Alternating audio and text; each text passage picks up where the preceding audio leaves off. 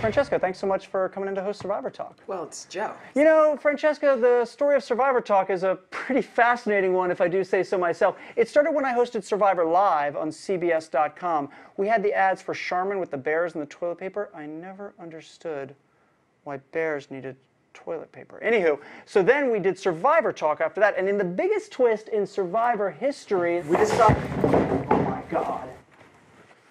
Medical! Medical! Francesca, are you with us? Have you crossed over to the other side? Stay away from the light, Francesca. Stay away from the light. What? Oh, thank God. Don't be alarmed. All the blood is now rushing back into your brain. But that was a pretty close call. No, I'm fine. I just fell asleep listening to your tremendously boring story. Clearly, the heat has gotten to you, and you have no idea what you're saying right now. No, I'm pretty lucid and I know exactly what I'm saying. Let me just take your temperature Don't just to make. me. Not touching you. Not touching you. Can we just talk to Joe? Sure, sure, absolutely. Would you like the umbrella? No, I'm Okay, good. just check.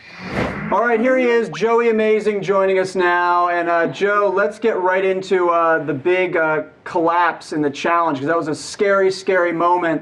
And- Scary. yeah. Heart stopped all over America. Yeah, so I pretty much felt the faint coming on, and I just looked at Jeff and said, Jeff, hey, can we go to one hand or can we add on a section of pole? So Jeff looks over at Keith, hey, Keith, is, are you good with that? Yeah, Jeff, I'm good. And uh, Jeff walks over to go get a couple more pieces of pole, and I just remember, like, that cold sweat feeling inch up my back, and, uh, yeah, just, all right, I'm out. Yeah. I'm coming down. Well, I'm so glad you're okay.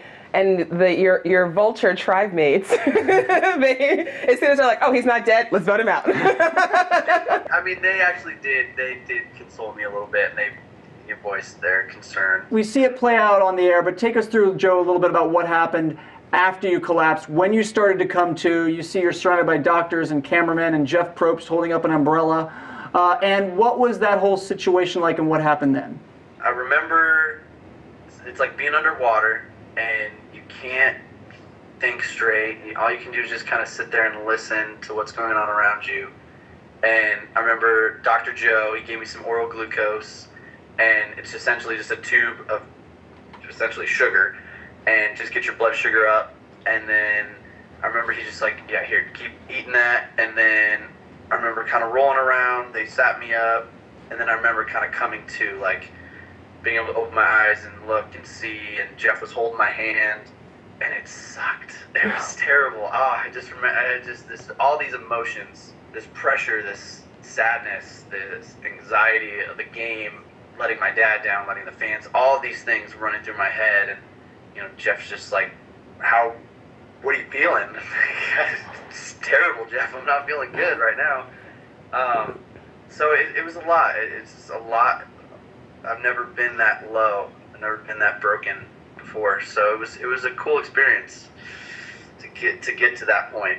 To push Yeah. yourself to that Yeah, point. to push yourself. Yeah, I've never done that. That's a new one. So, Joe, why are you so good at challenges? Why are you so good at Survivor challenges? Like to all the little boys and girls at home who want to be on Survivor and want to be a Survivor challenge beast one day, like Joe, what should they be doing right now to prepare? Ba- balancing things, judging by this season. Balance. Well, and that is that is a very very big part of this game. I mean, how often do we see knots and balance and just simple puzzles? And that's growing up as a kid. When I watched this show, I literally kind of cultured my life to play Survivor. I mean, everything I did, I feel like had some you know little thing that maybe I could apply this to Survivor. Maybe I could. This would help because I really did. I really did think I was going to be on this show since I was about 13. That makes me feel so Yeah. old. Every time someone tells me that, it feels so I did. I old. visualized that's what I was gonna do. That's so cool. What, what, let's let's It's really surreal. talking also because I thought this was interesting. You mentioned this on the radio that people won't know just sort of having seen the episode is that you were very sick going into that challenge. You guys were very sick uh, uh, by the campfire with uh, in a fever, breaking out in sweats. Tell us a little bit about that. As soon as we got done with the family visit, uh, my dad my dad left, and I went into just this nasty hot sweats, fever, and I couldn't hold anything down. I was running to the bathroom all night, and it was bad. I, I was very dehydrated, and I just remember trying to drink water, and I was I just had, I had this these chills all night, and I went laid down by the fire, and I slept next to the fire. I mean, inches from the fire, all night till till early morning, and then tried to drink some water. Was still feeling kind of that clammy, not so healthy feeling, and went into the challenge. So Yikes. yeah, Bad way to go. That's into the that's a bad way to go into the challenge. And Yeah. I think yeah, and there was a bug. There was a bug definitely going around. I remember production just saying like, "Be careful, don't be sharing glasses." Because Spencer had the same bug that I had, and I think it might have been. I don't know if it was the stomach bug that Steven had, but there was something definitely in the water. Something. Yikes. So, Joe, what was your who would you have wanted to go to the end of the game with? What was your what was your long-term strategy? Yeah, who's your final three, dude?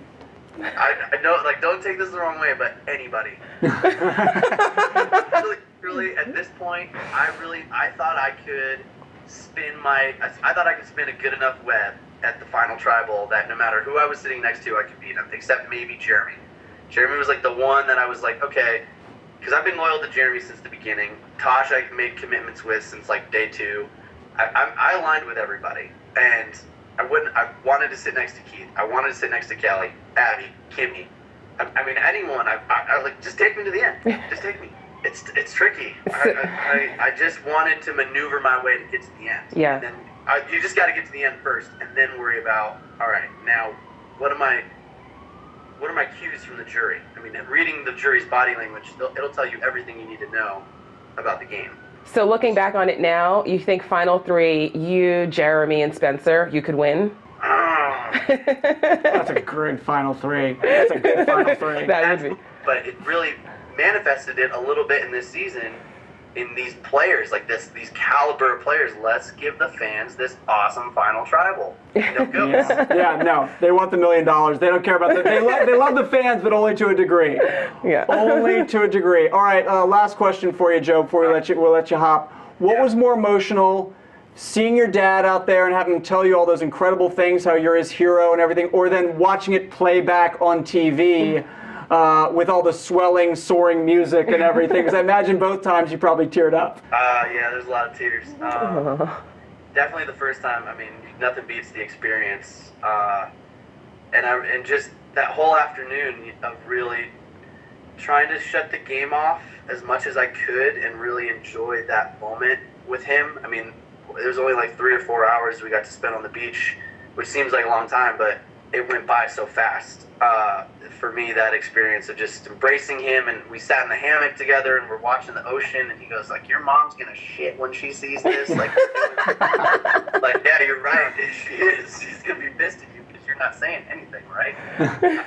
It even made me well up, so that's saying something because I'm a. Uh, it's hard to do, but dude, eh, look, all we want to do is as fans and and Francesca's a former player, and anyone is we want to see people go hard, and obviously that's exactly what you did. We saw how hard you went, too Yes. hard.